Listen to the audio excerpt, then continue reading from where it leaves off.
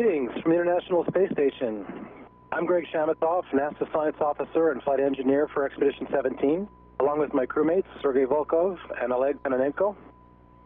We're very excited uh, to greet people of the great state of Texas on this momentous occasion. We want to recognize the legacy of President Lyndon Johnson on what would have been his 100th birthday. We wish the staff of the Lyndon B. Johnson Library and Museum all the best on the opening day of your exhibit, To the Moon, American Space Program in the 1960s. It's our hope that everyone who visits your museum will understand how far we've come since those early days of the American and Soviet space race.